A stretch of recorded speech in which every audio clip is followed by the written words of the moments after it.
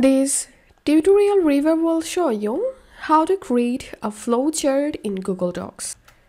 So first of all, open your Google Docs on your browser and I'm going to creating a blank document here.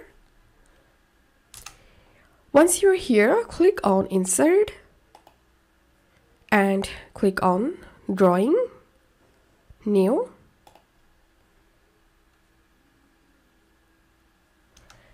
And the drawing pop-up will open here.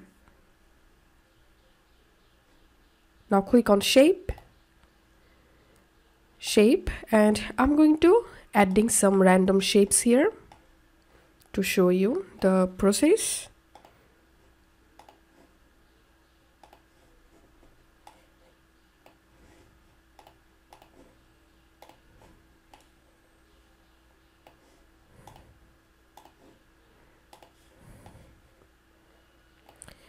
okay once you added your shapes here now select the line tool and simply draw a line to connect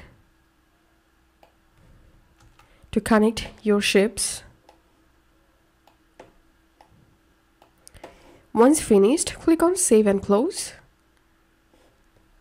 And this is how we can create flowchart in Google Docs if you find this video helpful Make sure to subscribe Tutorial River.